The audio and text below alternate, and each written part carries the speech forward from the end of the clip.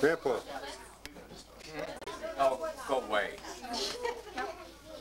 Hey, show him your apron, Dad. Stand up and show him your apron. Hey, Larry? See your apron. Now strike a sexy pose. I'll agree to that. Hey. Isn't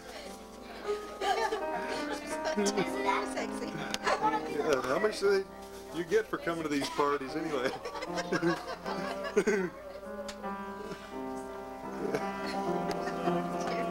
that last one.